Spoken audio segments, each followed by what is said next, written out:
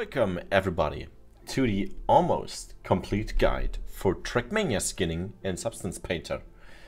I'm Shadow and this tutorial is meant to be a update on my previous tutorial series. This is a complete video guiding you from the start to the end with the most requested or the most needed parts of skinning you come across while using Substance Painter.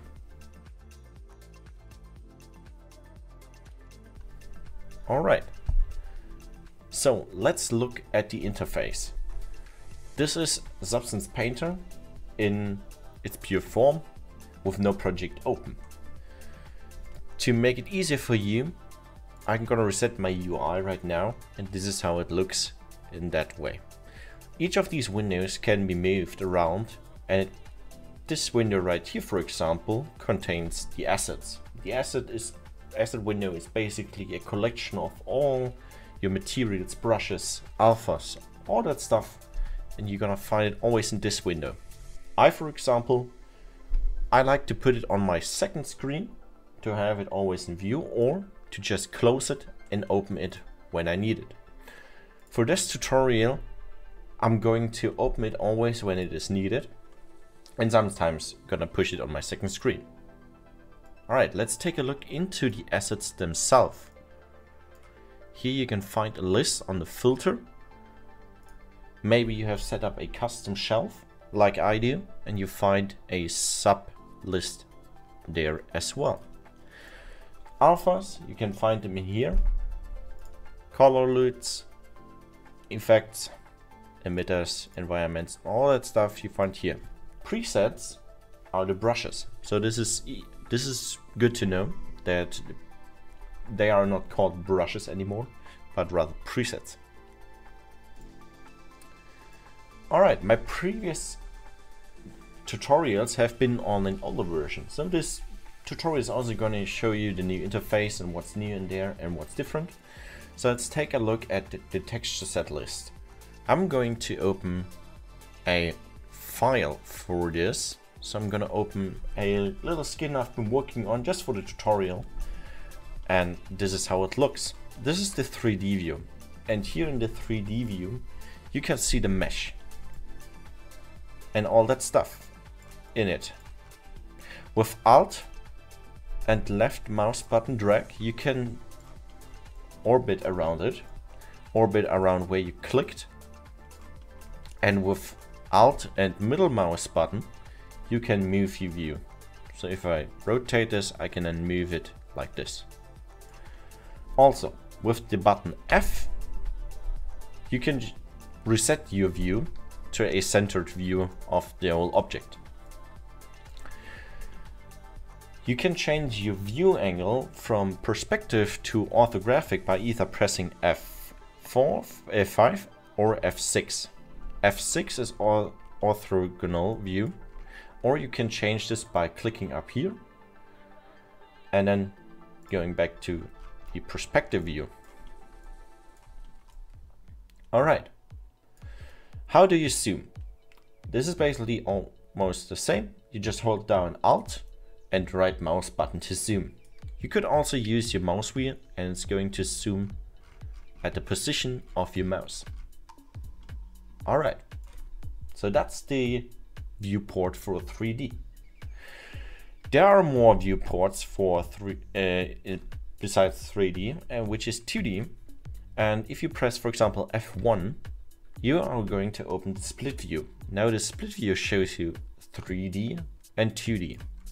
So right here it shows you the current texture set. And this is where this texture set list comes in. Here you can click on these different texture sets and then you're gonna change through them and you can see the UV change right here and the textures. So I'm going to switch to the skin texture set right now to see what I've painted right here. You can also just maximize the 2D view if you press F3 for example. So now you have the 2D view, which is similar to the usual 2D painting programs.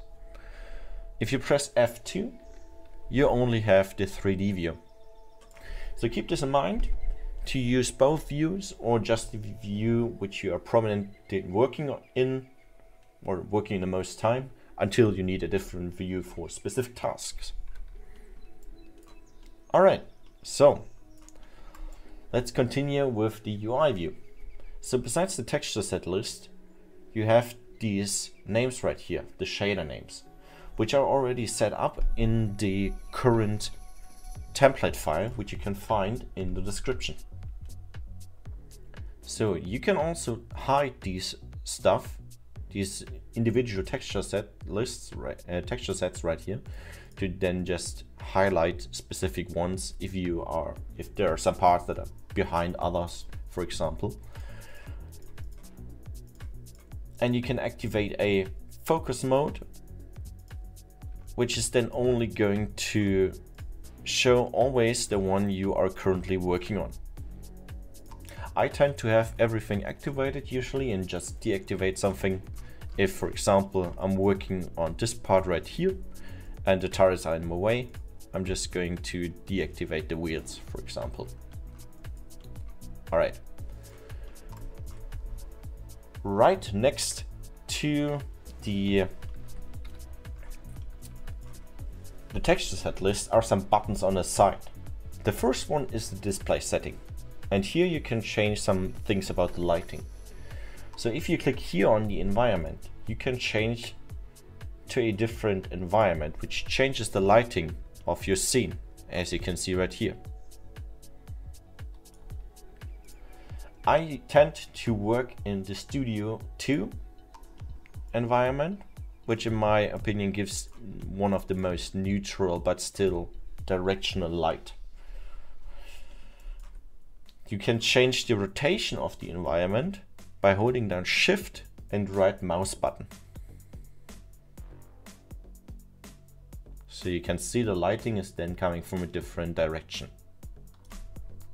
Gonna set this back to zero right here. And the other sliders don't really do something while you are in the working mode unless you change the opacity. So now we can see the environment. So this is how it looks. Gonna put this back to zero. And the rotation to zero as well. The exposure is the exposure. So if you dial this up, you can see it's getting brighter and brighter. So we can already see that there's an effect applied to the scene. I'm gonna put this back to one and we can scroll down right here and I have implemented already in the project some post effects which is basically just some bloom. You can leave this on or just deactivate it if you want to. But in my opinion it gives a good result if you are for example then later on working on I'm gonna put the uh, exposure to zero that's my fault zero is the base the base value um, if you're working on some emissive stuff later on, you can see it really glow if you have the bloom activated. Alright. You can activate shadows if you want. It's to take some performance, um, but it's going to highlight you how the shadows would uh, kind of um, yeah hit on the surface of the the vehicle. I actually don't use the surface while I'm uh, the shadows while I'm skinning but you can. That's up to you to decide that. that. So all these options down here are really, you don't really need to, to tamper with them. You can if you know what to do. There's some tone mapping, so we could switch to aces for example. I'm gonna stay in linear. You have some some filtering and a, a anisotropic filtering, mip map bias, all that stuff we can use to change different aspects. Now, below the display settings are the shader settings. And here you can select the shader you're working with. So, the initial project is in the uh, PBR Metal Rough with alpha blending. And this is the glass shader, for example, right here. The skin itself is on the PBR Metal Rough without alpha blending. So I've set up already different shaders in this, depending on where they are needed. So you don't have to to to care about that pretty much. Below the the shader setting, oh, let's stop for a moment. The shader setting also include an emissive intensity, which you can dial up later on. I've set it to 10 to give initially the best result in previewing the skin. And you can leave it like this or change it later to the way you like it for, for your visual uh, representation. It has no effect on the export by the way, this is just a preview effect. Alright, below that then is the button for the assets, where you can find all the stuff. We've already covered this, so I'm gonna close this down again. And below that you find your history and the log. Alright, let's see what's below the texture set list. So below the texture set list there's the layer stack. And in the layer stack depending on which kind of texture set you're working on, you have multiple options. For example, this button right here. With this, if you click on it, you can select a specific channel of your texture set. So you can just click on base color, metallic, roughness, and all that stuff. And this is especially interesting later on if you want to work with the emissive. Because if I go to emissive, I can then change the opacity just for the emissive. We get to that later. Next to this drop-down menu, you find these buttons for creating effects, masks, layers, and groups. All the stuff you need for the painting. And we're gonna use them when we start painting on our skin. So Besides the layer stack, there's also texture sets. And in the texture set settings, you see that there's a drop-down menu for the size. And this is actually the resolution of your texture set. So you can change this at any time to 2K for example, and it's gonna reprocess the layer or the texture set you're currently working on. You can also decide on this on the export later on, so you could keep working actually at a resolution of 1024 uh, and then in the export say it should reprocess that layer and export it in 4K resolution. Below that you will find the shader instance. You just don't have to worry about this. It's already set up if you're using the template. And below that are the channels for this texture set. You don't have to tamper with them it's already set up as I've told you already. And even lower there, you find the mesh maps. Now the mesh maps are some kind of a pre-baked texture, which Substance Painter is going to use in the terms that you want to, or in the case that you want to use generators or other stuff like filters or procedurals. Sometimes those take these mesh maps into account. And it's usually better to have them generated before you work on it. Because then you just you just have them. You can remove them at any time if you don't want to use them in a, a generator or anything. Alright, now below the layer and the texture set settings you find the properties. This is this depends on where you're working at, so if I'm going to create a fill layer right now, for example, this is going to show me this type of properties for that specific layer. And if I'm going to add a empty layer, which I call a paint layer, the settings, uh, the properties are completely different. So this is the properties are always showing you the properties of the object, layer or filter or whatever you currently selected. So I'm going to delete those two layers right here and let's take another quick look at the viewport. On the upper right side, you find that there are two sliders or two drop-down menus. The first one are some cameras I have set up inside of the project which you can use to quickly switch through different views of the cameras. This way you can get consistent renders if you want to show, for example, some progress uh, comparisons or just want to make some pictures. And right next to this is the material dropdown and the, the channel dropdown. And here you can specifically select single channels of your texture set or of the project to be displayed on screen. So if I go to base color now, you can see I'm only seeing the color. Here you can see, okay, the back plate is transparent. That's why it's showing this transparent pattern. I can also switch to roughness, for example, and I can see the difference in there. Since the roughness is in grayscale, this is what you see there. You can also just go to material and press the key C to switch through the different channels. If you want to go back to the material view, you just have to press M on your keyboard. Alright, so this has been the overview of the UI.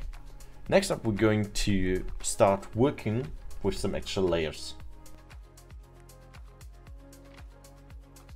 Alright, let's get started with actually painting our skin by using layers. First off I'm going to show you the fill layer. This type of layer I'm using myself the most because I can change it at any point later on again. So here in the UI, I'm going to click on this button right here, which says add fill layer, and it's going to create a new fill layer. I'm gonna move it to the top. And so this fill layer now has some properties here. Before I change this, I'm gonna make a folder and put this inside of the folder and change some uh, change the name of that folder. So I'm gonna call it base. So we're going to going to use this fill layer to create a basic color or a basic foundation on the skin. So let's look at the properties. I'm gonna scroll up and you can see this is a fill. So it's telling us it's fill and here you can see the projection, filtering and the UV wrap. So th since this is a fill layer, initially it's going to repeat forever. So if I come in here and I'm going to scale this by holding down Control Shift, you can see, okay, it's just plain color, so nothing to it. On the other hand, you can drop some textures into these channels. Here you can see the UV transformation sliders, like the scale, offset and rotation. But what we're gonna focus on right now is to create the foundation itself. So we don't need a lot of channels that are activated right now. So what we're gonna do for the foundation, I'm going to deactivate these channels right here. So I only stay with color, metal and rough. Those are like the three main components or main channels you are going to use um, during your skinning process because the other ones are a little bit more specialized. Alright, so now that we have deactivated them, we can scroll down, we can see, okay, only those three options are left. So we have the color right here, and I can change the color there to whatever I want. I can make it red, I can make it blue, green, yellow, whatever I want to. Alternatively, I can use this color picker, and if I hold it down, I can color pick any color on my screen, even on my second one. So if I go to my second screen right here, I could, for example, pick this color or this. You can't see right now, but you can see which color is displayed on the skin. Alright, so let's take this dark color right here from the UI actually. I'm just gonna make it a little bit darker and let's change some of the roughness. So metallic, the name is clear. It says if a material is made out of metal or it isn't. And if I put this down to 1, it says, okay, this is metal. 1 is like 100%. And you can see that it's getting darker. That's because metallic materials are darker in real life too. I'm gonna keep this to zero because I don't want a metallic foundation. And I'm gonna play with the roughness. So the roughness essentially says how rough is a surface, you know? Is it either smooth or rough? This is what the slider does. So if I say, okay, it isn't rough at all, it gets glossy because the surface is super smooth. And now you can see it's reflecting the environment as well.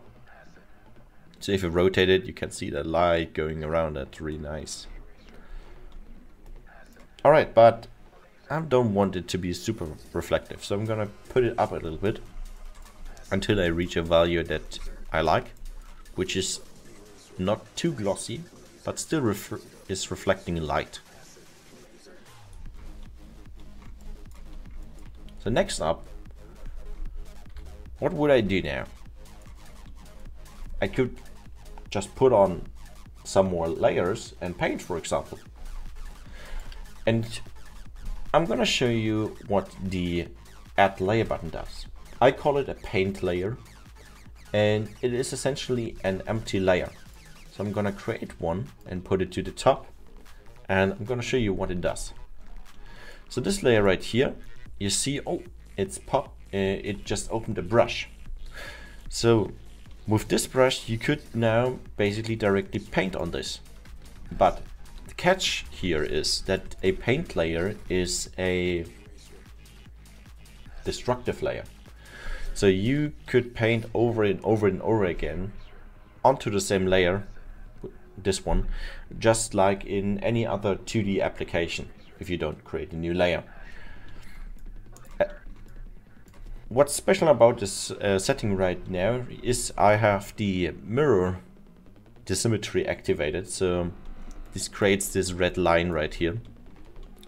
And you can just deactivate it if you don't want it to be symmetrical. If you activate it after that it's gonna create a symmetric mirror. Then again I'm gonna undo this. And yeah, if we scroll down here on the paint layer, you can see we have the brush settings. So here you can change the size of the brush. You can also do this with hotkeys. So if I hold down control, for example, and then go left and right, I can increase or decrease the size. I can also change the hardness of it, which is this value, by going up and down with control. and I can rotate it, which you're not gonna see on a square. So what I'm gonna do is I'm going to select this brush right here, just so you can see it.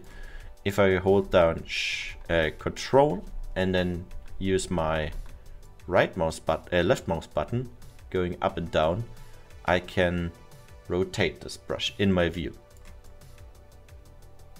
I can also change the flow, which is basically the opacity, by holding down control and left mouse button and sliding it left or right. Alright, let me reset my brush. Here in the presets, gonna select the uh, basic soft.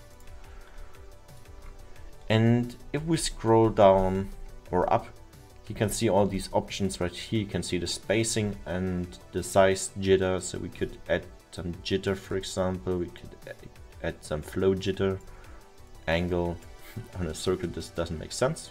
Can change the position as well. So this is going to be the result then. Can I have some some brush paint now? Some brush uh, airbrush brush. airbrush pattern. There we go. Something like this. But we'll make this even smaller then it's more of an airbrush pattern. Alright. I'm gonna undo this. I'm gonna reset this right here. Uh, let's zoom. Let's go down even further into properties. And here you can see all these channels. And the channels that are activated are the ones you are going to use with the next stroke.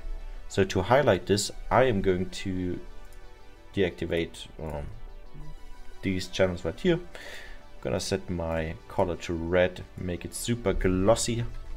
And I'm gonna paint a stroke now. Let me paint this right here. There we go.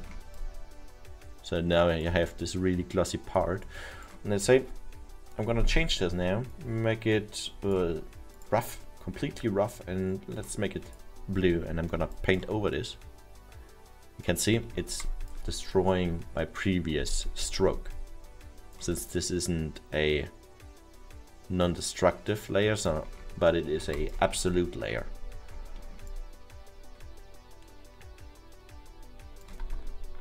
All right.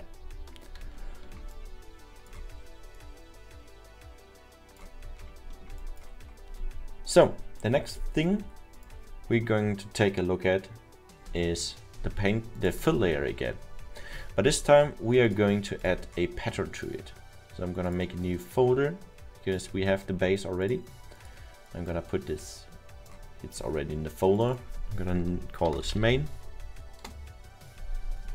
I'm gonna make, I'm making a lot of folders because it helps you with organizing your skin. You can also then name your sub layers and all of this, um, but at least create layers inside your folders so that you can group them together and then find specific parts later on again if you see some problem you maybe missed before. Alright, so this fill layer right here, I'm gonna have to deactivate all the channels here I'm gonna deactivate the metal as well. I'm just gonna keep the roughness and the color. So now I can, you know, overwrite the base layer. But what's interesting is I could, instead of just doing a complete fill, I could import a texture. And so I'm going gonna go into the asset uh, window right here into my shelf, basically, and then I'm going to project because I've imported something already. And I have this texture right here. And I'm gonna drop this inside of the base color. And this gonna apply it is going to apply it on the whole skin.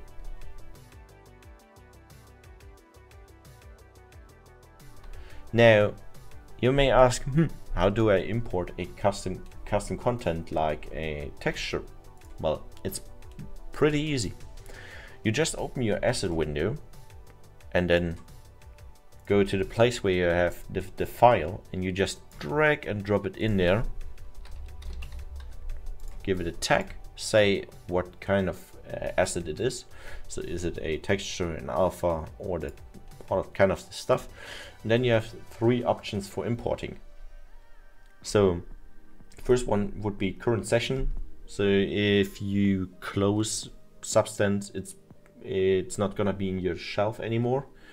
Uh, but if you have applied it to your skin, it's gonna stay. But I want to put this into the project because it is a project related asset I'm just going to use for this project. So it's gonna be saved in the file. And the third option would be uh, the library, which then this asset is going to stay there forever until you remove it from the folder. I'm gonna put it in the project and say import and there it is. And now I can just drag and drop it in here. Just like I did in the beginning. All right, so let's take a look at the projection modes. So right now we are on UV projection. What is UV projection? Basically, if we go to the side-by-side -side view, it's just putting this texture, this image, on the whole UV, on the 2D space. So it's just like right here. You can also see it's repeating. And to remove that repeating, you go to UV wrap and you click on none. So initially most of the stuff in Substance is actually like seamless and repetitive. So most of it repeats by itself over and over and you can change this either by saying it should only repeat horizontal or vertical and I'm just gonna go with none right here. Something else. You can see that this image right here is wider than high than it is uh, in his height. So this is kind of pushed together.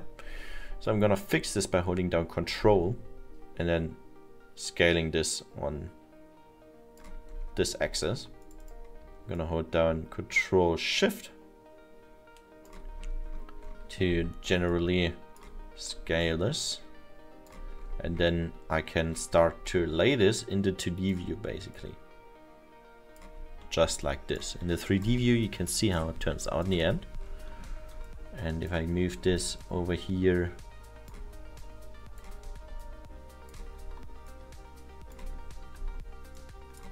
I uh, would have applied this to the whole skin and so now you probably recognize already the first problem we have with this type of projection.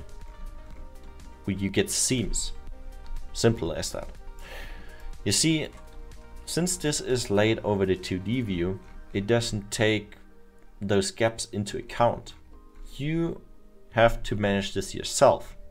But there are other options as well.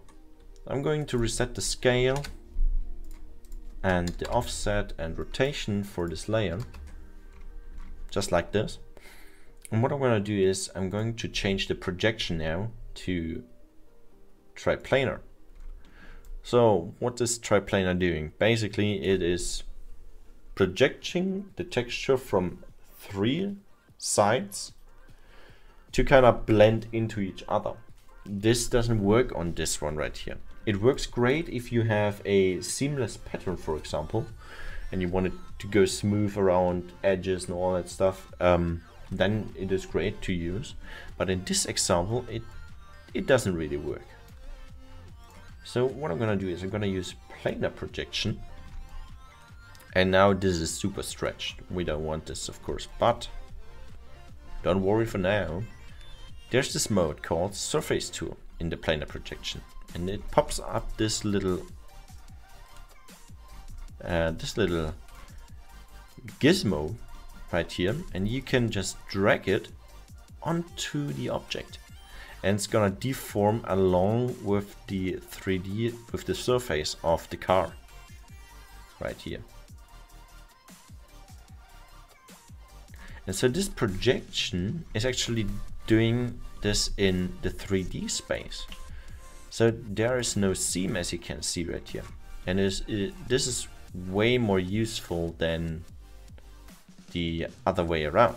So I'm going to scale this to fix the uh, the aspect ratio. And now I'm going to place this on this side right here. Now you might say, okay, I place it on this side. Um, I'm just gonna duplicate it and then I don't know, place it on the other side. Let's see. You have some other options right here, which are the 3D projection settings. You have the offset, rotation, scale. You could just use these sliders to, to change it. But there's a way easier way to do this by using filters. And we're gonna do this later on. So stay tuned if you want to know how to get this on the other side as well. Alright, so I'm gonna move this just by a little bit down here. Wait, this is the copy. my, my mistake, there we go. I'm just gonna scale this down a little bit and I'm actually want to let it repeat itself now but just horizontally. So there we go. I'm gonna rotate this.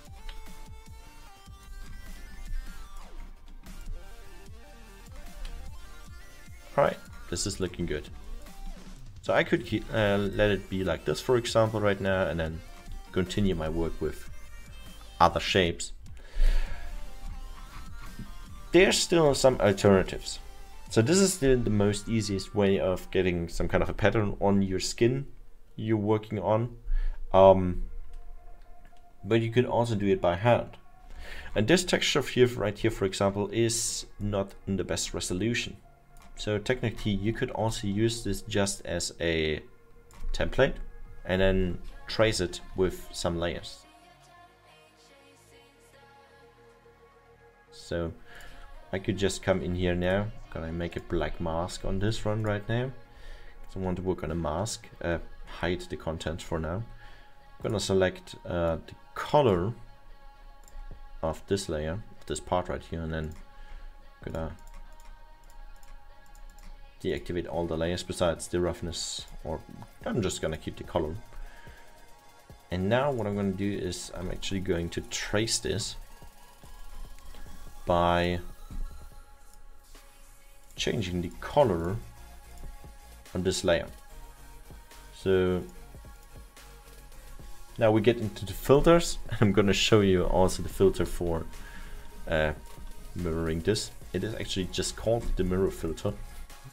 yeah, I'm sorry, I should I should have shown this right away. So like just like this, you click on the layer, click on the magic wand here, then you go to filter and it asks you to select the filter and if you scroll down you find the mirror filter. So now probably it's gone if you haven't been on this side. And you get it back by just inverting the x-axis and there you go now you have your pattern on both sides. Just like that. And it's going to be mirroring forever. So you could move this uh, and you see that it's going to mirror it on the other side as well if you're moving this. That's it's really handy overall especially for making patterns and getting patterns of your skin on the other side of the skin as well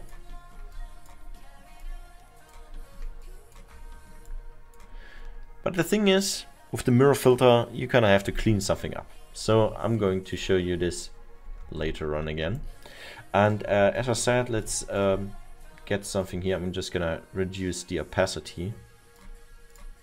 And then I could technically, um, I'm gonna switch to the orthogonal view. And now I can just click here and then trace this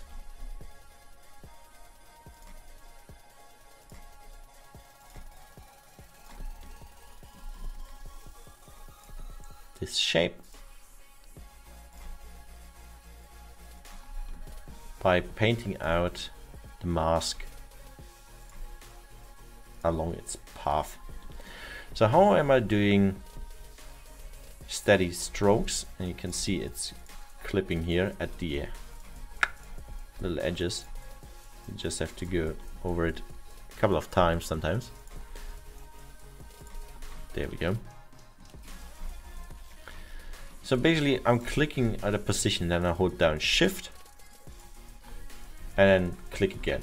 You can also do a click, hold down shift and control and then you have 45 um, degree steps before you click again. And then like this. it's not going to take the position on the skin on the on the model the account. It's taking your screen position account. So you can't do this where you click and then hold shift and click again and then like move because it's then drawing a line from where your previous position on the screen was not on the mesh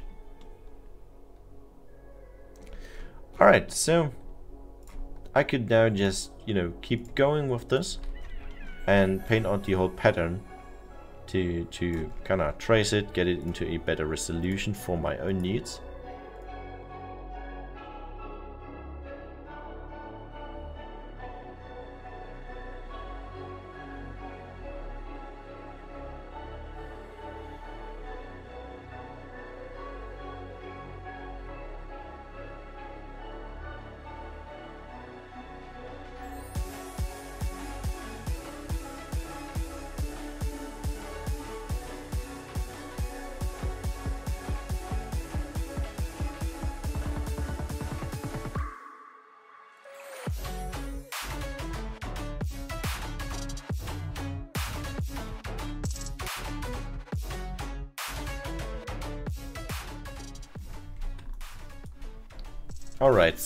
After filling out this shape right here, you probably see that you have some, probably gonna have some mis mistakes. So if you press X on your keyboard, you can invert this brush and then go into black. And black is basically zero, and now you can kind of correct some of the stuff where you've made mistakes.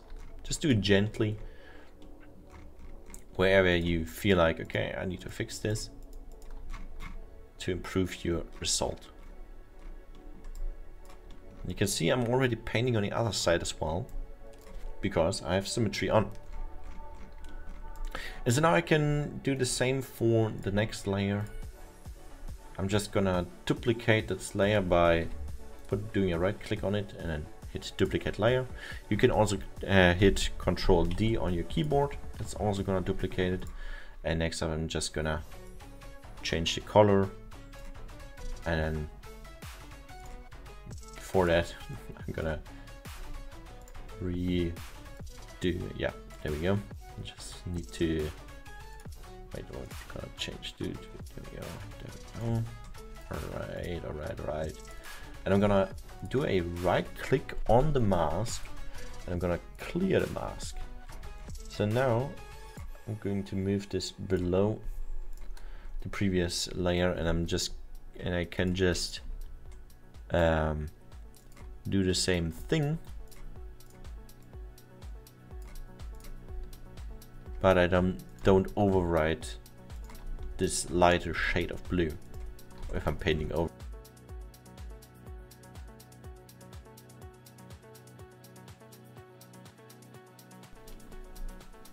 Alright, so this is how it works working with fill layers. You essentially put on a mask and then work on that mask because you can at any time you can later move that mask and then uh, clear it and then rework it if you want to.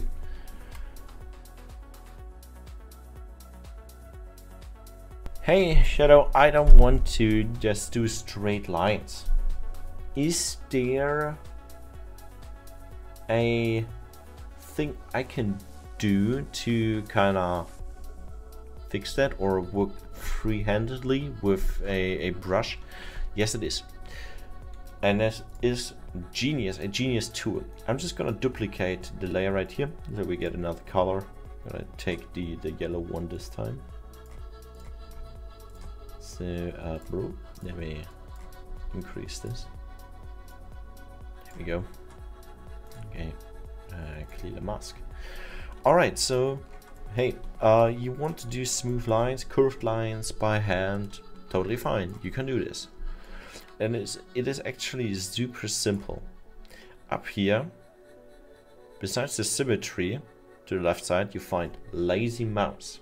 And lazy mouse enables this kind of opacity circle around your brush. So if I'm clicking now, you can see, okay, I clicked, oh, the brush isn't moving, uh, the, the, the stroke isn't moving with my brush. It is actually moving now with the outer edge of that circle. So now I could do really smooth lines. Just like this. Lol. and this way you can do a lot of things. You can, you know, do some cool curves in the middle. It isn't too perfect, you just have to, to play with distance in that case. And you can also do with the linear ease, ease in, ease out. I'm just gonna do the ease in. You can see if you you can move back, you can put, punch it to one side as well. So that works. But if you hold a steady stroke, you should be fine with the uh, smooth, uh, the lazy mouse, giving you a smooth curve. Like this. Obviously, you have seen that there are sometimes a problem. And totally true. The way we're gonna get around this is by changing the alignment and the size space.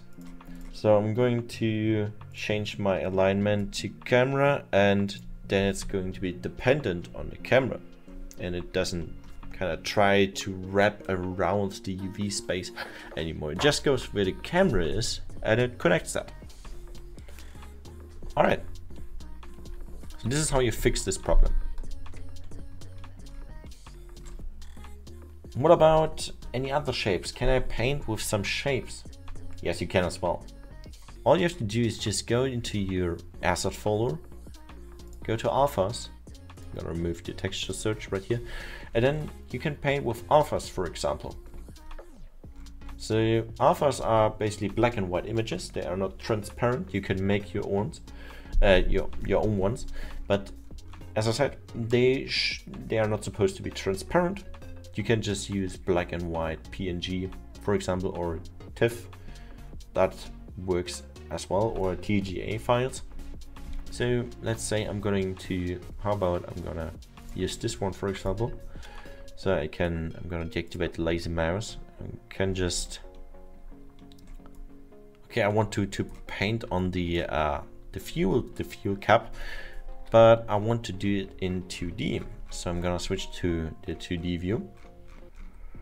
And then I'm just going in here and click on it like this. But this just worked. Okay, so this this is fine. But there's a problem.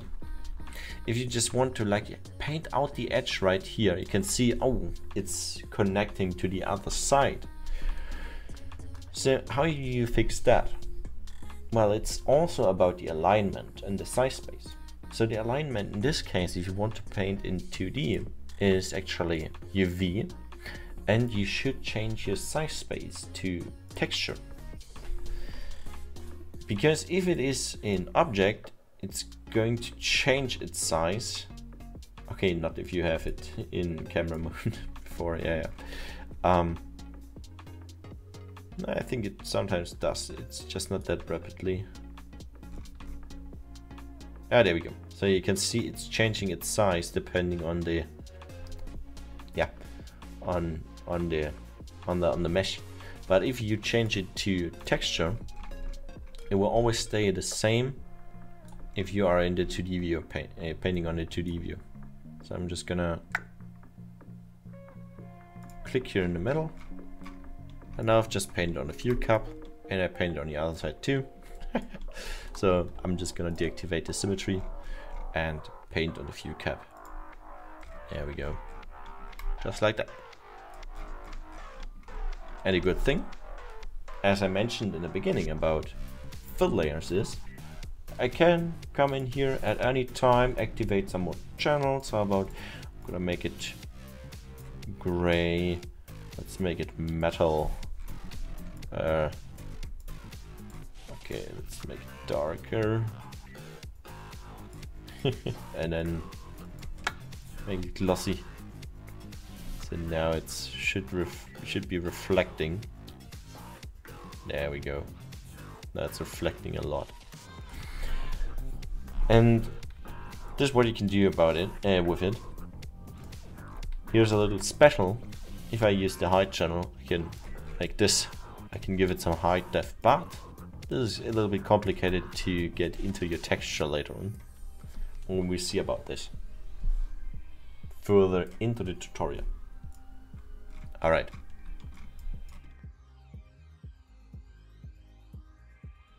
So,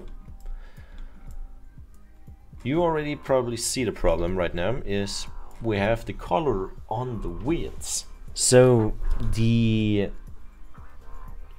uh, the mask mask workflow is also your your savior in that situation because you could actually you can also just add a mask to a complete folder. That also works.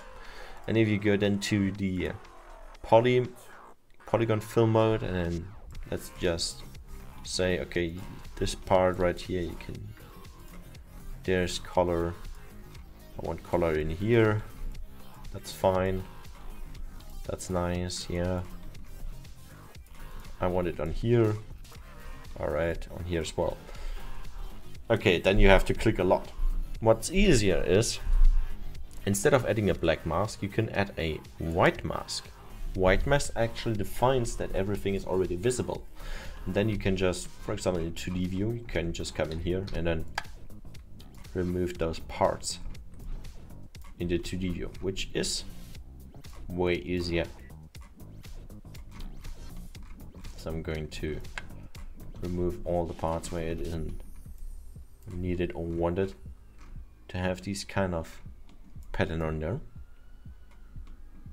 And then it is all cleaned. All right.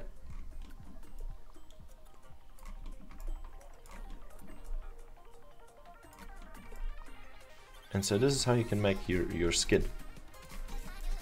For the initial shapes, colors and textures, you can layer them all above each other, mask them out.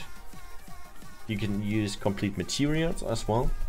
So since Substance is about materials, you can also use these, for example, if you find a good use for them. Just however you like it. Alright, and next we're gonna take a look at how to use um, the generators, filters, and sublayers on mask masks specifically.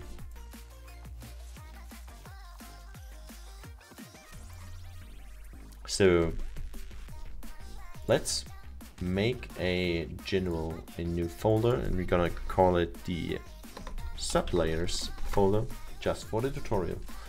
And I'm gonna make a yeah fill layer in there. Now this fill layer is already over the old skin so I'm gonna add a black mask like usual. But I'm gonna make this one red because that's a really really bright color gonna deactivate all that stuff so let's say, okay, I want to add some procedural dirt onto the car, you know, some general dirt or that kind of stuff. What I'm gonna do, very simple, I'm gonna add an effect, and this time we're gonna add a generator. So I'm gonna select generator, and now I'm going to select dirt, for example. And you can see, oh, I'm gonna switch to the perspective view right now. Uh, okay, this is applying a global uh, generator onto my skin. You can see right here, it is way more intense. And that's because of what I mentioned in the beginning about the mesh maps. Those mesh maps have an input right here. And you can do some edge masking as well with this. Um, triplanar blending, other than the contrast, let's reduce it. There we go. So you can see it, it's only right here. And I technically you could leave this because this area right here is really close to the the tires. So that makes sense that those are like the dirtiest parts of the whole skin as well as the the air inductor uh, the air inflow right here or these parts. So that, that makes sense somewhat. That's how the, the ambient occlusion was baked for this purpose. I could also just remove this and have a general value overall.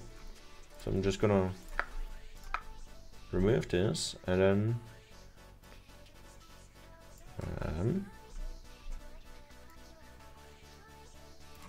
put the ambient occlusion to 1 and then let me wait let me activate the other ones again. So I'm gonna deactivate this. Wait no. Curvature as well. There you go.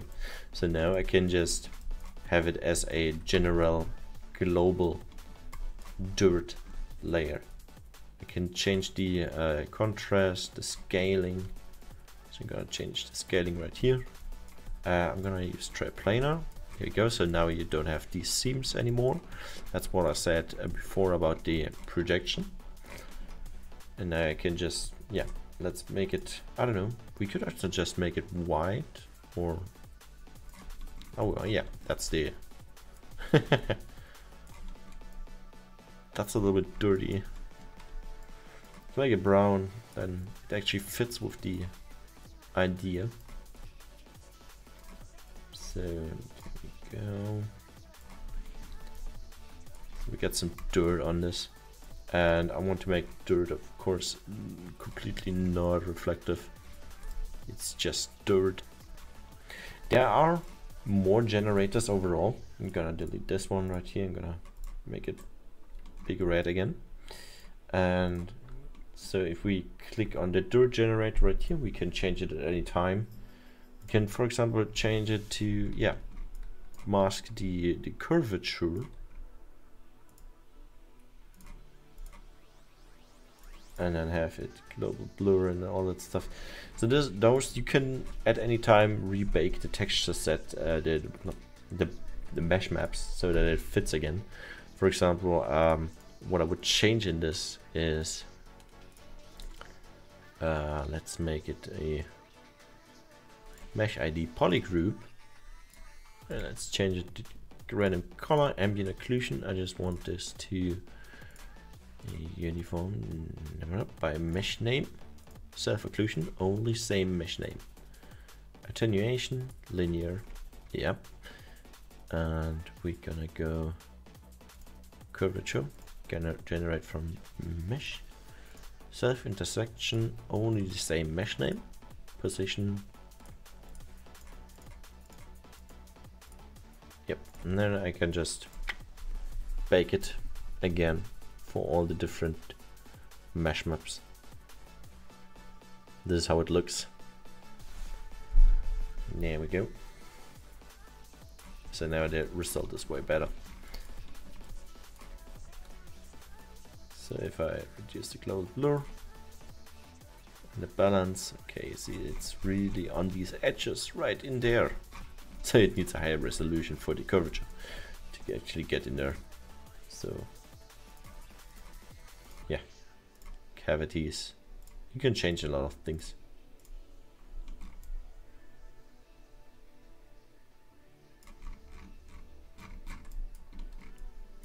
All right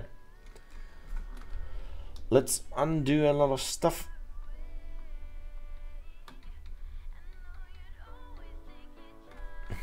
There we go. So back to the original mesh maps.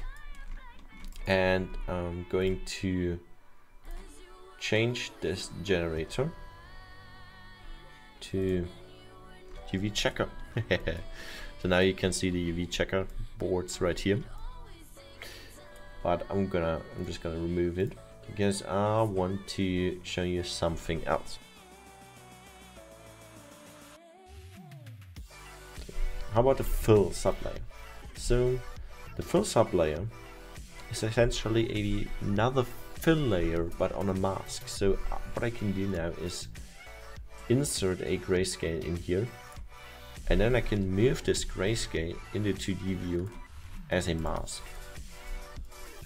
This is more convenient if you have, you know, a pattern on the base color in the main layer, but then just want it to be visible in certain strokes in certain ways. So you can now use this this type of um, texture then or fill on the mask to do exactly that. So this is what you get then. I'm gonna Dum -dum -dum. Move to the front so you can see the effect here now. I'm gonna change the balance a little bit. Contrast as well. Not square expansion, yep. Noise parameter, the disorder. Order! and because we are hitting some of the other ones right here and not using the planar projection I'm just gonna add a paint. And then paint out the parts where I don't want this to be. Just like that. Just like that I made this nose right here. Obviously you can see the lower side is not affected if you want to get this affected, then you have to use the planar projection. So reset. If you switch the projection mode, always reset the transformation. That's very important. And then go to planar. And we're going to use the surface tool for now. And I'm going to check on the 3D projection settings by setting this to zero. This can stay, this as well. The rotation is going to be 100 is fine, 180, and I'm going to go 180 as well. And I'm gonna gonna zoom it a little bit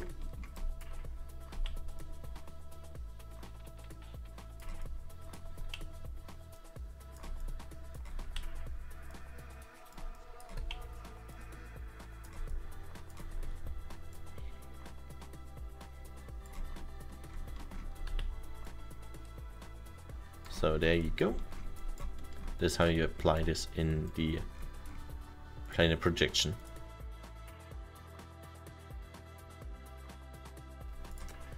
And let's take a quick look at the other projections because we haven't covered them yet.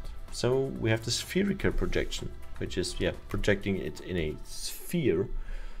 You also have the cylindrical, which is doing a cylinder and then projects it that way. And last but not least, we have the warp projection. The warp projection is a little bit special, so I'm going to show you this in uh, on a different layer. Alright, so let's create a new layer. And this time I want to have a texture on this. So let's check out my textures I have right here. So I'm going to use some, some Typhon camo and I'm gonna put this into the base column. So now it is in the UV fill mode. But what I'm gonna do is I'm gonna switch this to warp projection now. And this is gonna open up this um, rasterization right here, where you have these um, arrows in the 3D space. And first you have to, to set something up before you can use it. So you kind of have you have to rotate it obviously because this is going to define a grid way which you can deform to um, place the texture around your car by defining the direction of projection for each individual of these um, grid squares.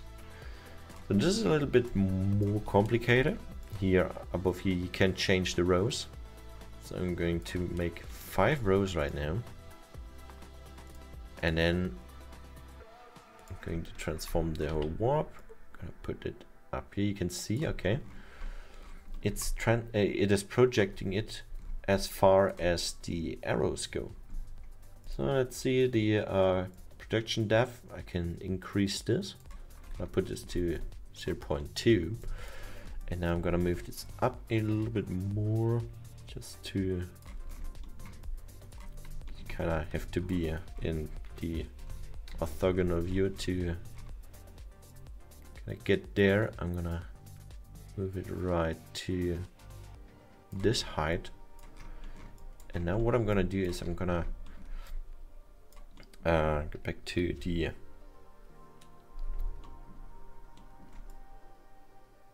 perspective view.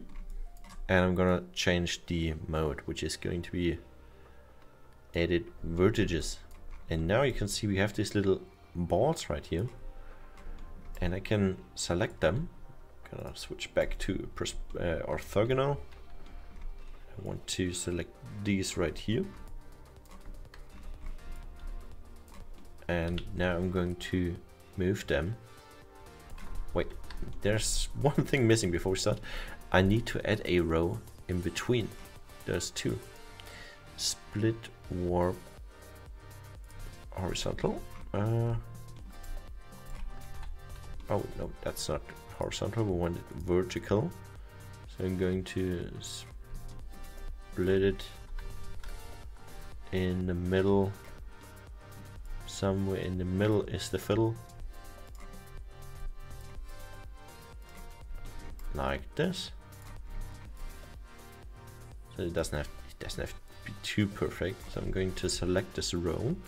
I'm going to move it upwards and you can already see the texture is already starting to bend along this path. So like this and that.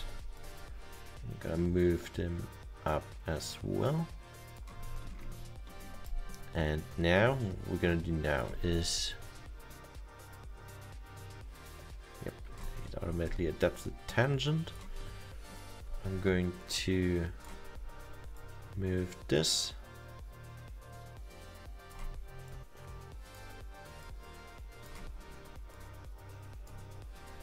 over here. So it's basically you kind of defining a path for your texture to then project along this path.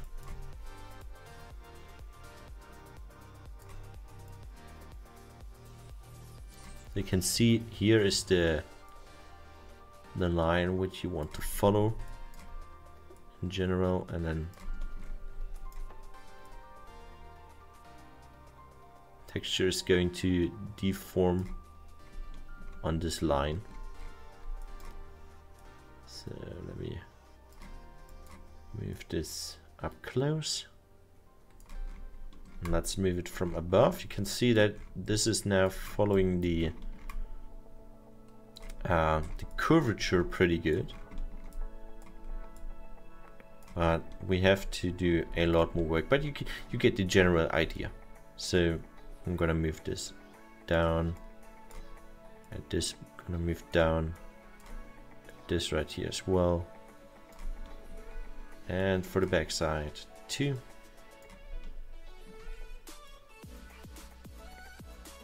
move them down. And down. And move them a little bit more to the back.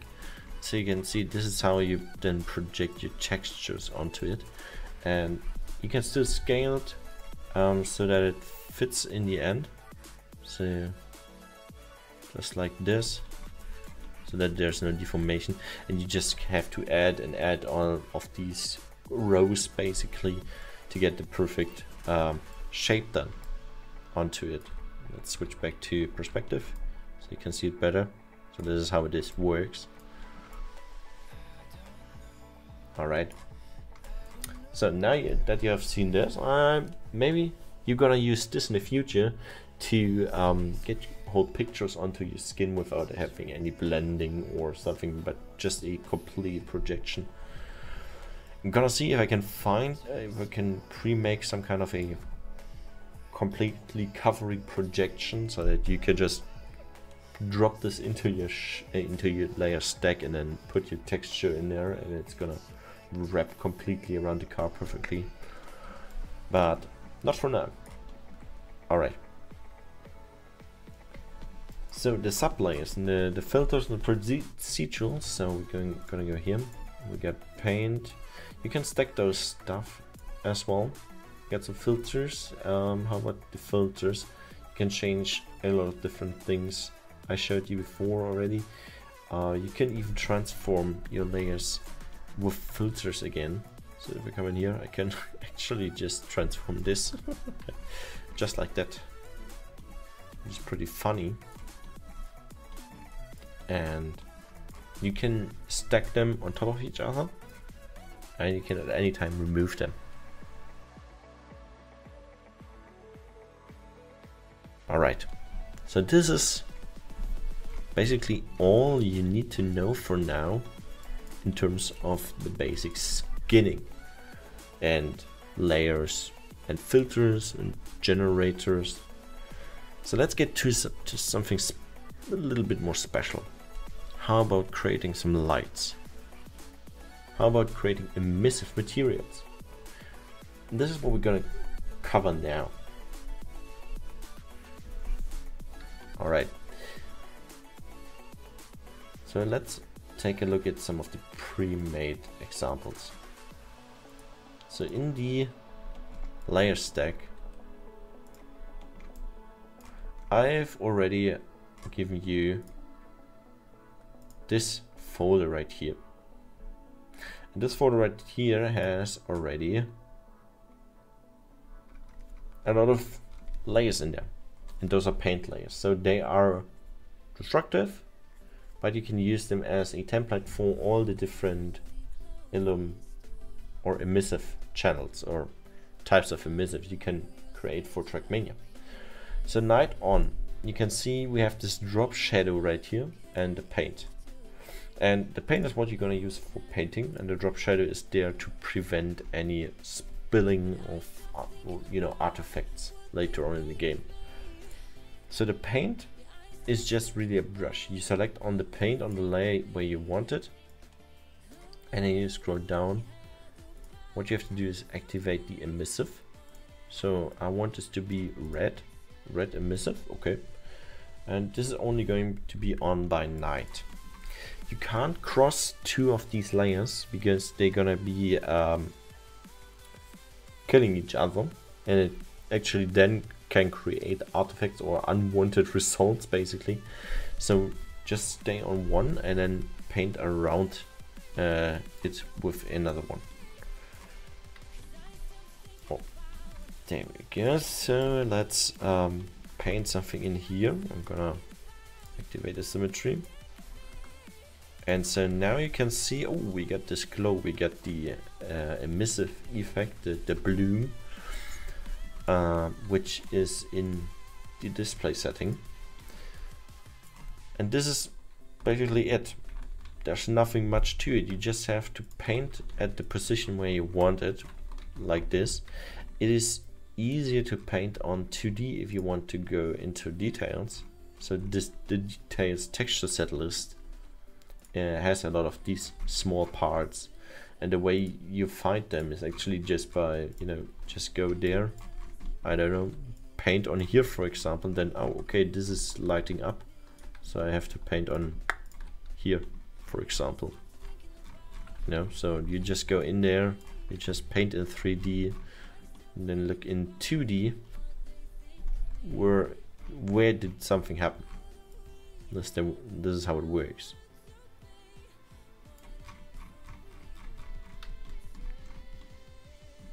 right? So the way the emissive works is, is that it has different emissive uh, opacity. And if we use this drop down menu right here you can switch to the emissive. And so now you can see the opacity values of the emissive. It is not this one. If you change this one right here it's only the opacity for the base color and Many people have already kind of confused this with each other, which I found pretty funny, but hey, it can happen.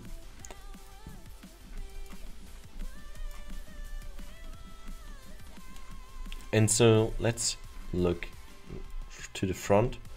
You can see that we have this glass right here. And behind this glass is actually a part where you kind of are supposed to, to paint on. So let's see, I'm gonna paint on this. Let's see, where is it painting. This is not the one, it's just spilling there. This is the one. So I can come in here then and then just click on here and paint a complete line on into this. And so now I've completely painted this emissive stripe there. And let's check the view in the emissive dropdown. This is how it looks. And what is interesting for you to see is actually the drop shadow. So if I deactivate this, you can see, okay, there's no black outline anymore. Why do you need this drop shadow? It's very simple.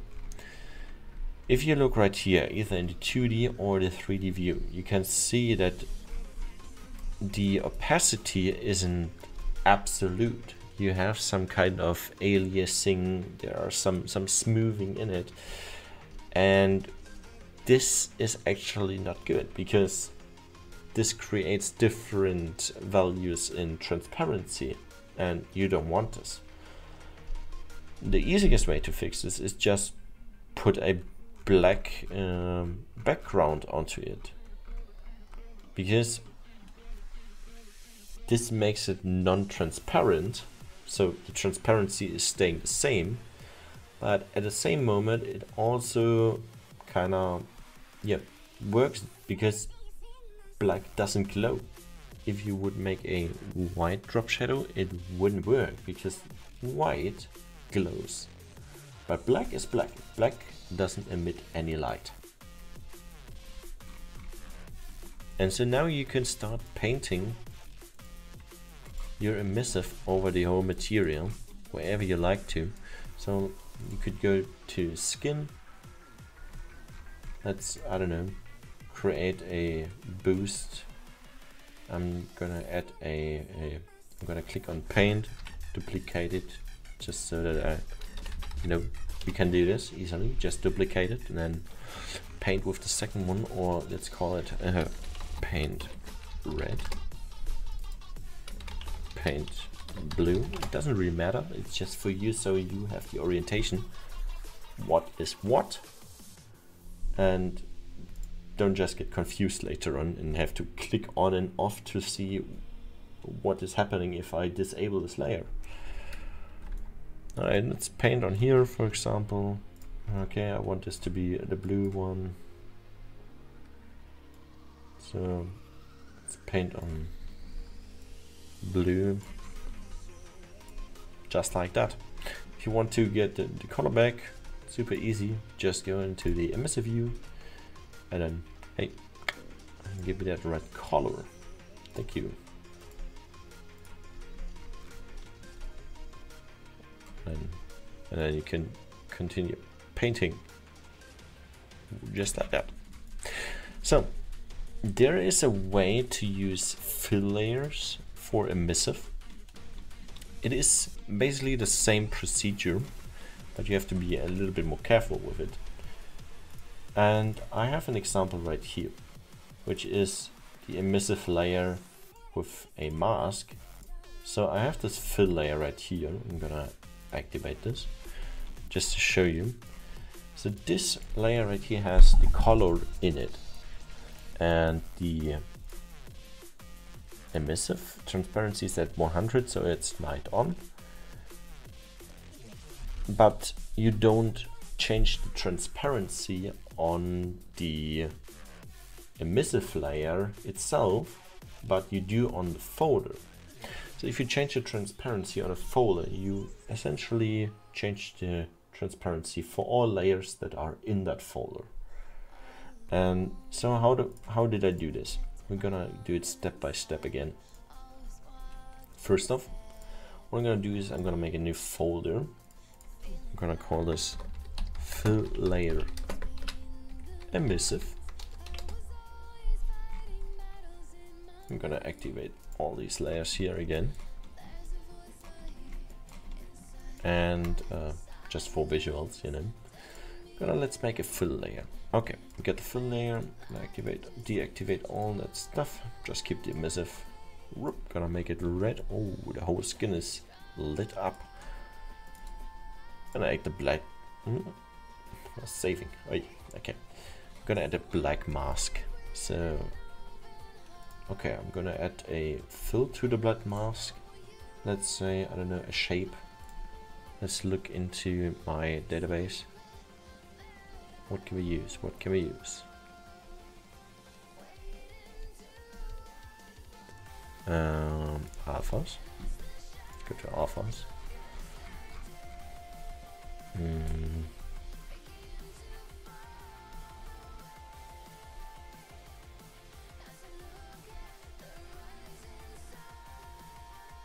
We're going to use this one right here. So I'm just gonna drag it in there. And I'm gonna place it on the back side.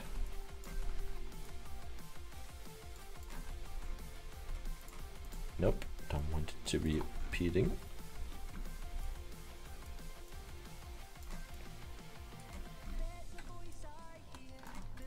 So we're gonna we're gonna uh, mirror this. So now comes in the, the important part. So right now we have the wrong brush. Let's uh, clear that basic stuff. There we go. Just like that. And I'm gonna save this skin file right here. So now we have this these emissive dots.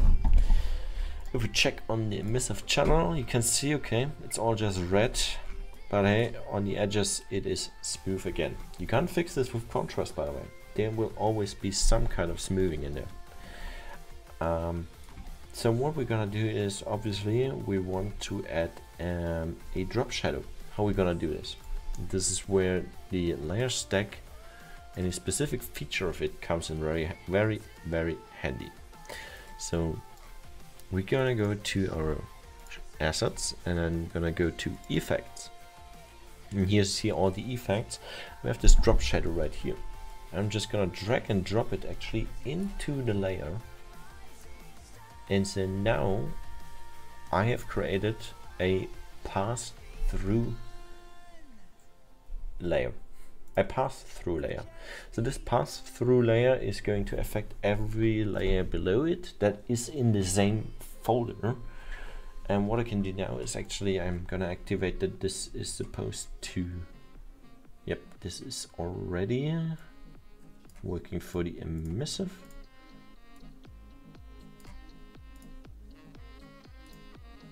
Yep, yep, and I want to add a drop shadow. So let's make the opacity. Let's make this red. Wait, no. I think I have a little mistake right here. Let me quickly look it up. That's why I included these. Yeah, filter, drop shadow.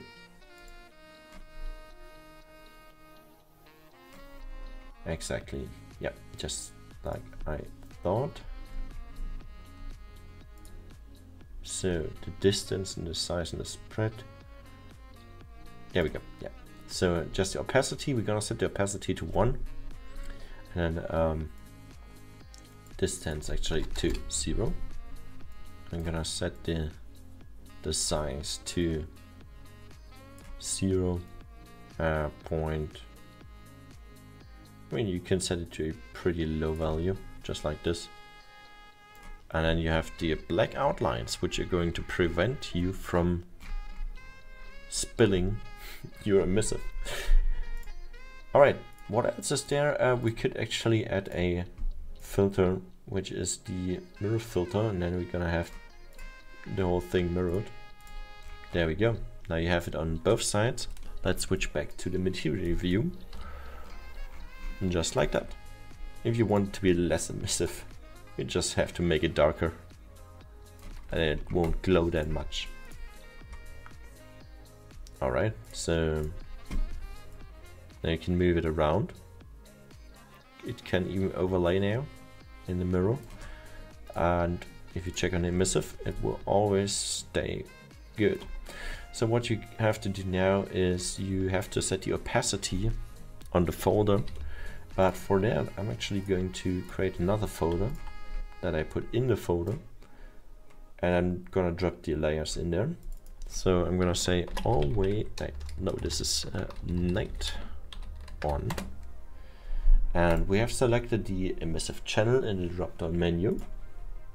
So I'm, yeah, it can stay at 100. Otherwise, if I say it's a brake light, I'm going to set it to one. There you go. So this would be brake light now. Always name your folders or channels uh, for the emissive so that you know how this works. Alright, this is how you paint your illum by hand or using fill layers. Now, what about custom tires? Let's get onto this. So tires are a little bit easier to handle because tires are able to use normal maps. So I'm gonna show you how you can paint or make tires by hand and paint the patterns in them by hand as well. So let's go in here and we have the original textures activated. I'm going to deactivate them. I'm also going to remove those right here. um, there we go. There is. There we go. Wheels. All right. So let's make a new folder. And in this folder, I'm going to place a fill layer. It's just the usual procedure, procedural uh, procedure. Got a little brain lag as it seems there. Alright, so base color. Let's see. Uh, we need a color of a tire. Um, now what you could do is you could activate the original tire here and then just take the color from that deactivate it from the layer. Uh, there we go. So now you have this right here. And I'm gonna as always deactivate the channels. It is not metallic. I'm gonna leave it to zero. It is rough. It shouldn't be reflecting that much. It is somewhat let's say 0.4 and I'm gonna duplicate this layer and I'm gonna change the color a little bit to something darker. Just a little bit.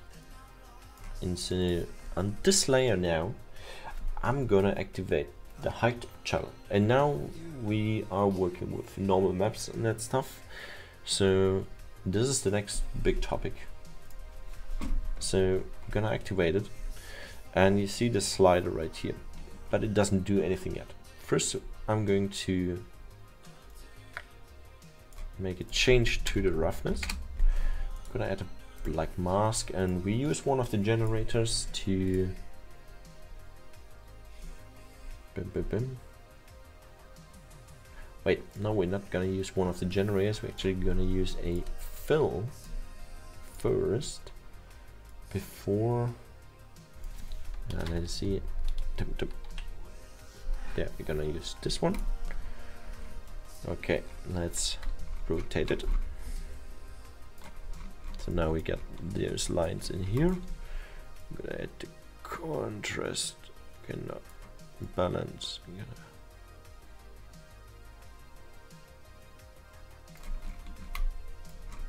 this one right here for example and noise parameters x amount y amount uh, dum, dum, dum. there we go. So now I can change the slider for the height channel.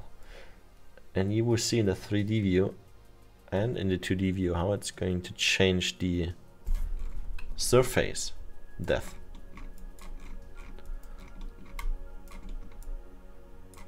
That's crazy, right? And I'm gonna duplicate this layer and gonna deactivate all just the color and the roughness and all that stuff. I'm just gonna keep the, the height channel. And instead of the uh, fill right here, I'm gonna add the generator. Let's make it dirt. And now you got your dirty, uh, your your use tire pattern basically increase that scale a little bit. And like this. You just made some kind of a tire some kind. But hey we talked about um, creating the pattern by hand. So let's do this. First off I'm going to make a paint on the mask and so now we're just going to paint onto the 2D view. So don't forget, change your alignment and your size space. Always. I'm gonna deactivate the symmetry. There we go. Other side. So now we have these rails.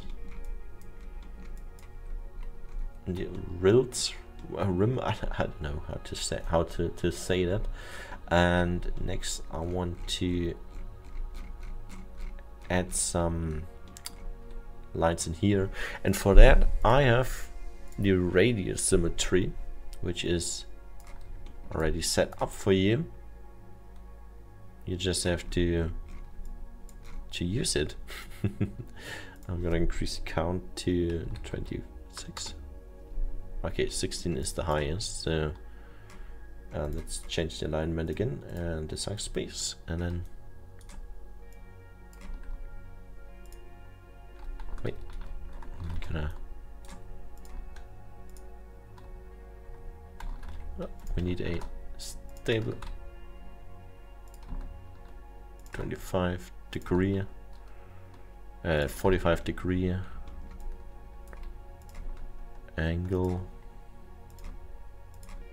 wait okay yeah this is this is a little bit harder to kind of keep the, the distance always the same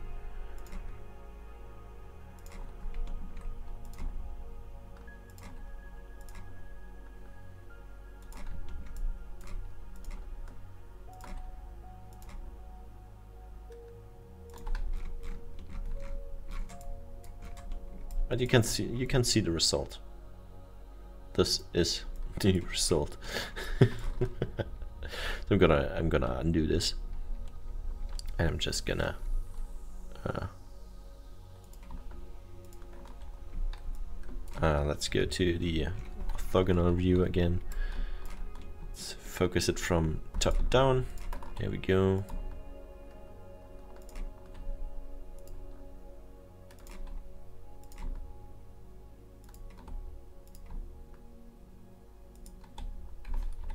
And then you paint your stuff inside of the tire.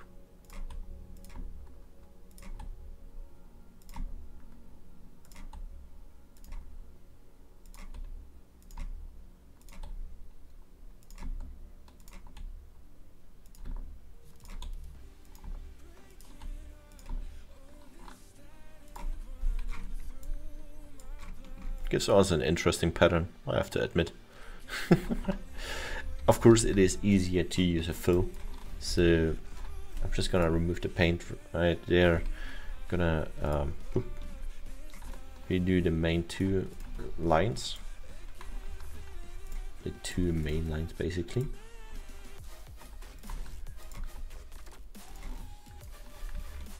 Just like this. And then I'm going to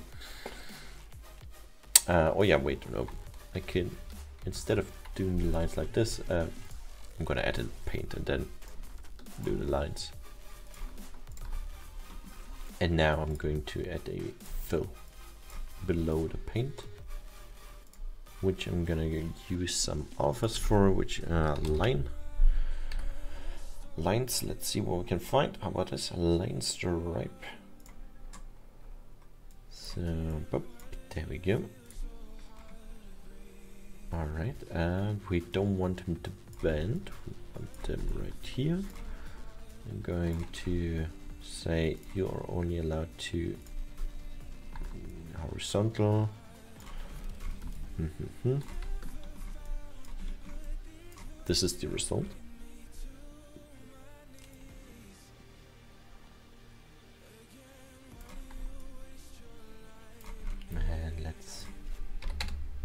Go with four, five, and then offset, offset, dum dum dum.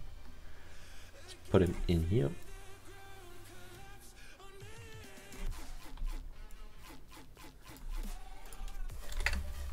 Make it smaller. This is too small. Okay, 30. There we go. So now you get a nice inner side do the same for the other side as well. So you could just duplicate this effect and then move it to the other side. This is how you build your tire basically.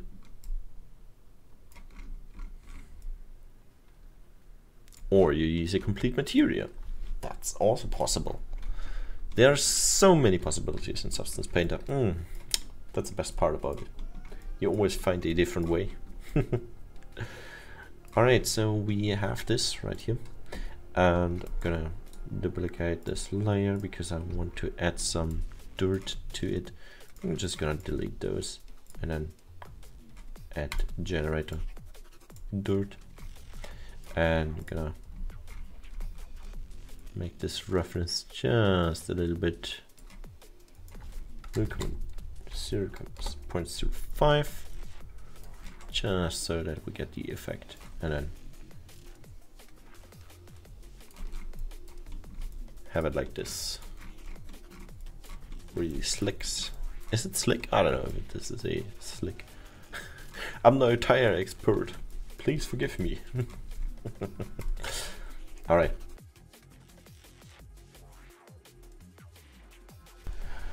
Let's take a look at how you can bake normals because on skin, on the skin texture set, you can't use normals actually. But if you want to have something uh, on there that looks like it has a height map or a normal map, then you gotta bake it. And that's a procedure using a filter as well, but there are some other methods as well. So let's go back to the skin layer, the skin texture set list, uh, uh, skin texture set, not not list, and then I'm gonna add a layer which I call a folder which I call is the the normal normal skin whatever. I'm gonna make a fill layer mm, just the usual thing.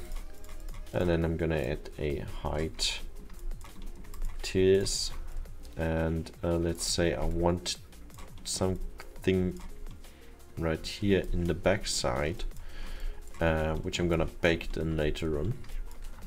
What I'm gonna do is uh, I'm just gonna make a mask, the usual thing, gonna push this to one side already, and uh, let's add a fill and add some kind of a alpha in there, which we can use to then bake the height difference. Mm. I have so many alphas actually. It's actually hard to decide on one in this case. Uh, let's just use this one right here. So let's map it to where it should be.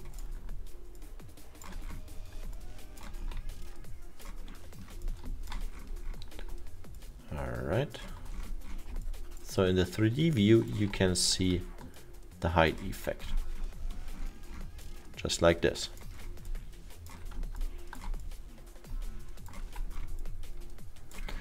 What I'm gonna do is I'm gonna add uh, a color to this layer so that it's already a little bit distinct from the rest. Gonna make it uh, less rough it's supposed to be metal. Hmm, just like this. Let's make it a little bit brighter. Alright, I like this. Okay, so now you can see we kind of have some normal map on there. But for now it's just in Substance Painter. And how do we get this out of there? So you have multiple ways. And I'm gonna show you one way for now.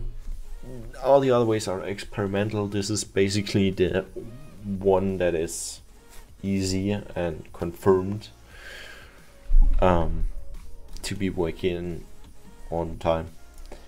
I'm just gonna make a new folder, put this in there, and just like before on the emissive with fill layer, we're gonna go to our assets. Go to the, the effects and then up here you have baked lighting environment. You have also baked lighting stylized but we want to bake the environment in our case and we're gonna drop this into the layer stack above the layer which we want to bake so now dum, dum, dum, we are going to check on the base color. So this is how the base color looks right now with this. and we need to put in a environment map. So let's open our assets again. Go to environments.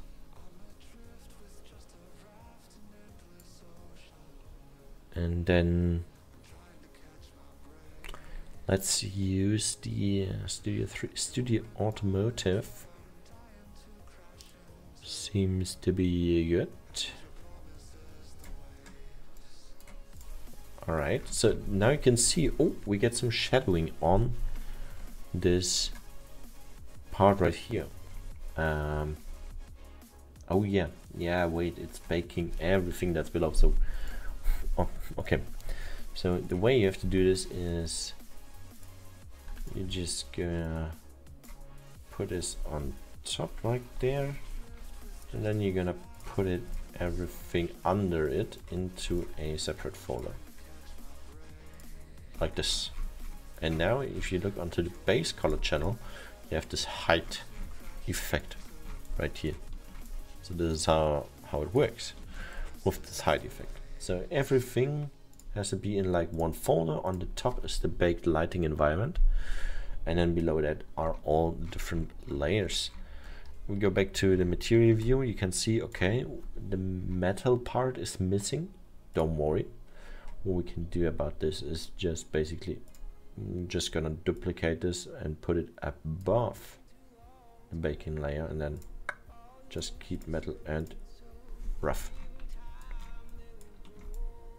just like this so this is the baking folder ba baking folder basically and then this is the skin folder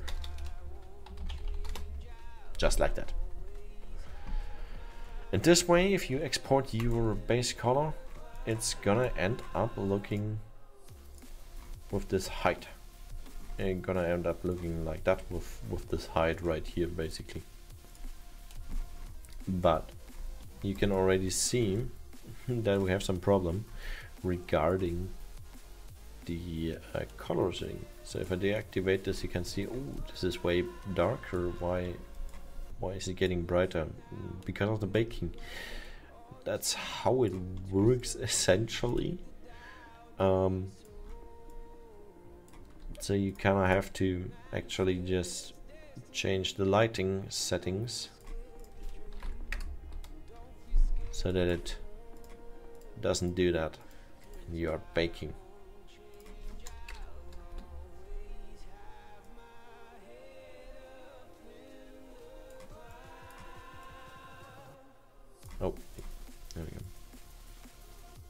So let's go for a uh, hundred. You can, you know, activate, deactivate it so that you see what's going on. This is also going to back this one right here. It's actually interesting. It kind of flatten it all out, but in the end, in the game, it will still look pretty good, nonetheless.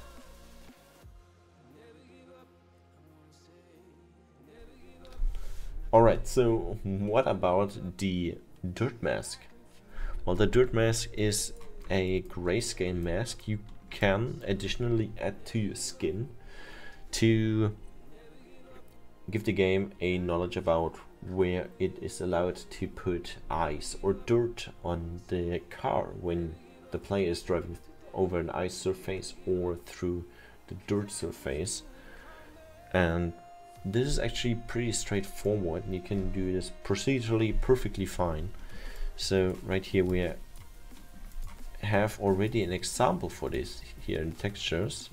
Um, example, uh, dirt example. So I'm gonna activate this so you can see how it looks. Dum.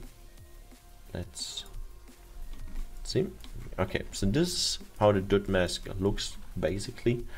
Um, not exactly, because it is all the way done. You don't have the base color activated, so you would only see this, you know. But you just have to go to a dirt mask and then you can see it right here.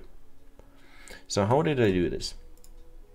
Basically, I have a dirt mask is black and then, you know, I'm just putting on a mask with some, generators onto it.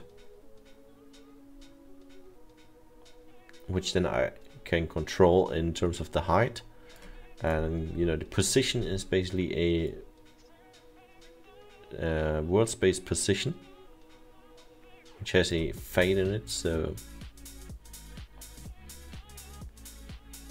that's how this works. And let's make it for ourselves. So if you want to work on a dirt mask, Firstly, you're going not to look at material. You can look at material, but it's going to be a little bit more complicated. If you, um, I mean, technically it still works, so we can do this. Um, we're gonna start by making a new layer, fill layer, and we're gonna set dirt mask to zero. So black is zero, there won't be any dirt mask. And so next we're gonna duplicate this layer and say, okay, on this, the dirt mask is gonna be one, 100%. Totally fine. You can't see any of this yet because there is no color. So what I'm gonna do is I'm gonna make this white and I'm gonna make this black, basically. Technically, you can just keep this uh, out right here, you technically only need the white color, which you could also make some a brownish tone. I mean, it is dirt, so you kind of want to have rep representation. All right. So now I have this brown uh, color right here, and we're gonna add a black mask to it, obviously. And I'm just gonna add a generator and you can do it, you can paint it by hand as well. That's totally up to you. Technically, I could use a fill and then use a, let's see, gradient, gradient, not dots, gradient linear, gradient transparent, nope, nope, how about this one? This one seems good, okay. So you can see, okay, there are some brown parts, but we're not gonna use UV projection. We are going to use the planar projection in this case. So all you need to do right now is just turn this around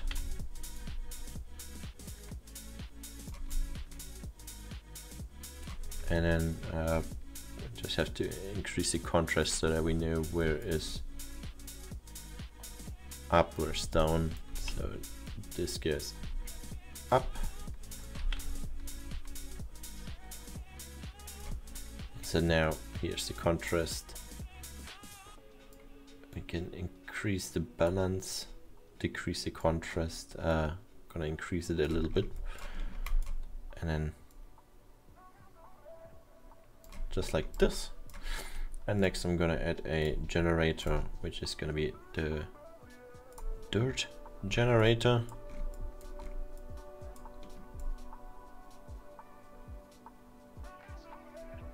And so now you can see how the dirt would look on the car. I'm gonna uh, decrease the level. Wait, I'm gonna make the gradient on top of it. Nope. Uh, not like this, but dirt is going to be changed to linear dodge. There we go. So now I can change the balance in general or the contrast. So this is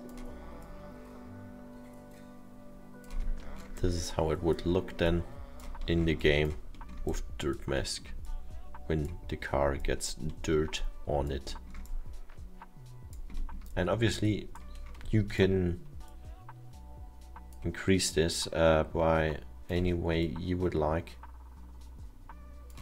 So change it to this, full dirty, completely over the top, obviously. Um, but it gives you nice results uh, in general. Uh, let's see, subtract. You can play around with the, uh, the settings and that um, and get the value that's the best for you in general. This one, for example, right here, overlay, is working really good. And yeah, that's how it looks then in the game. Let's make it a little bit brighter so you see the dirt. So that would be the dirt then on the car. Literally. And in the end, you just disable the color and voila, you have your dirt mask. And now after exporting, you can take a look at it. So let's export the textures. And you just, here you select the folder where you want it to be exported. Next, you're gonna select the output template. So in this case, it's gonna be Trackmania 2020. You can find the export template in the archive below as well. And next we have the file type. So I'm selecting Targa for this. And I'm going to select a 4K resolution. And dilation transparent. Can also use uh, pass through or dilation and diffusion. This works as well. And I don't want to export the backplate. You don't need a backplate. And then you can look through here and then just export it just like that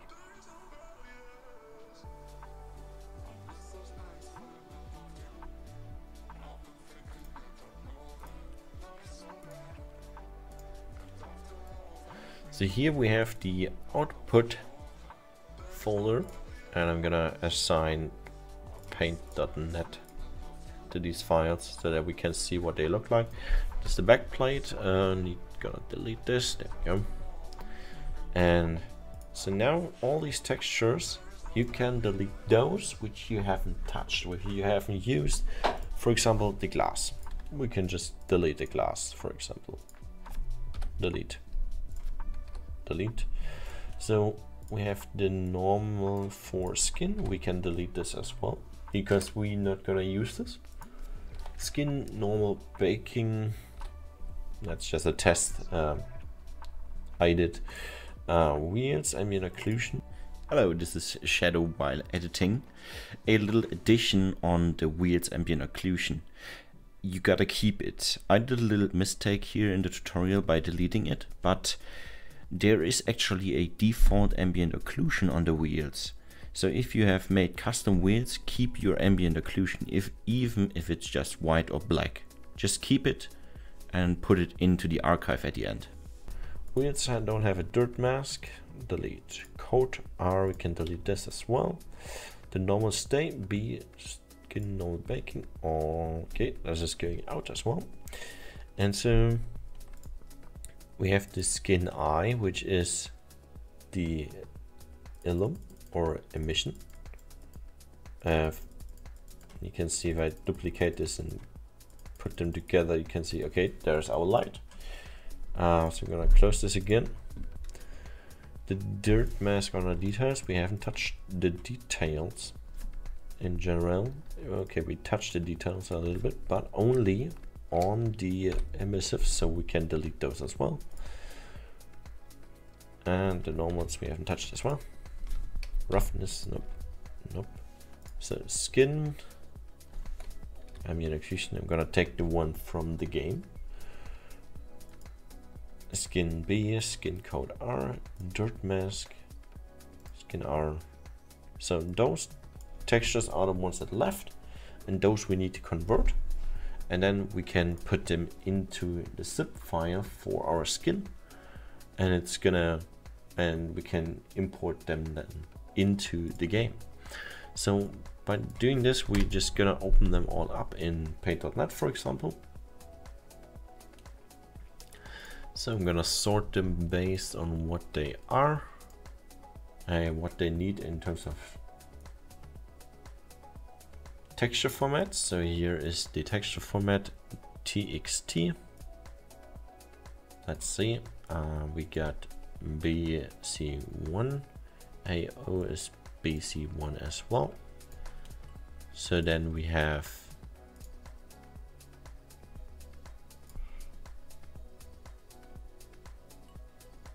BC5, BC5, this is BC3, uh, this is the code, code RBC4, dirt mask as well. And occlusion.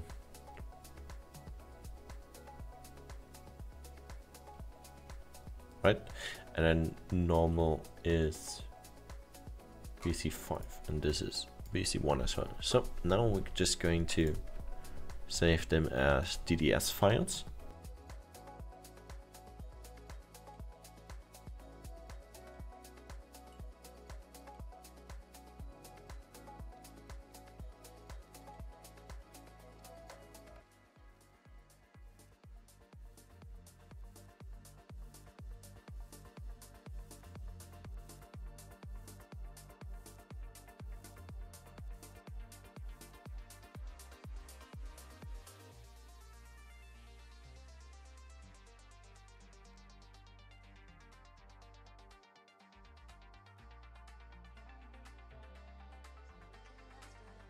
And so now you can pack all the DDS files into a zip archive and then this is going to be your car. So let's say 7-zip. Gonna put it in the archive and then tutorial skin. And we want this to be a zip.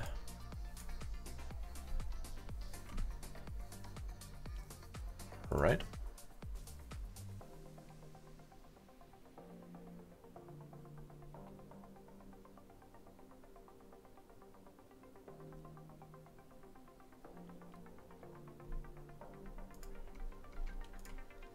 Here we go. 34 megabytes, so this is bigger than you can upload to Trackmania, but still we are going to check out how it looks in game. Hello, this is Shadow again while editing. So if you want to upload your skin to a club, you have to lower the resolution of your skin to fit a maximum of 24, 24 megabyte is like the perfect size of your skin or the maximum size. There's a limit you can upload and all you have to do is just scale down some of the textures from 4K to 2K. 4K is a little bit overtuned for the game. You can keep it, for example, for the skin B texture. Alright, so now we are in the game. Um, to check out our skin, we're just going to the replay editor and I'm just gonna, I don't know, use one of these replays. I'm gonna edit this. You could also just go into the single player uh, works uh, if you have uploaded a skin. But just to check how it looks, uh, the replay editor is the better choice because you don't have to upload it that way. Alright, so what I'm gonna do is I'm going to delete the skins right here. I'm gonna change the to daylight and let's place a skin somewhere for example right here a ghost. All right. I'm gonna use this ghost yep. And now we are going to fly to it.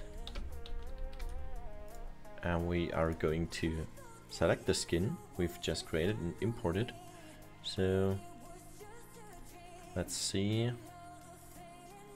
add the letter T, tutorial skin, and there it is. There is our skin.